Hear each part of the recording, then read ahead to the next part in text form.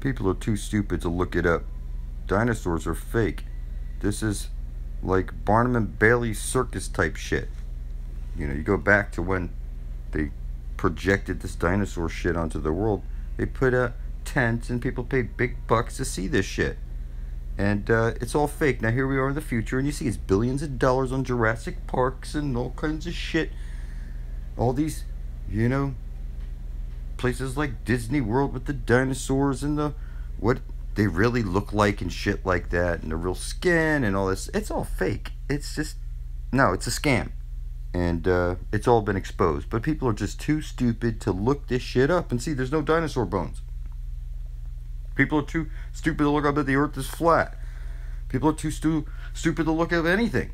That AIDS, the doctors are injecting themselves and exposing it as a hoax, saying that AIDS doesn't cause, you know, HIV AIDS is bullshit, that you're you're being scared into going in there, giving your blood, you tell them, yes, you're gay or whatever, you know, and then they say, you know, you're positive. It's a positive negative. You get it checked the second time, comes back negative. You see all these horror stories. People are being fucked.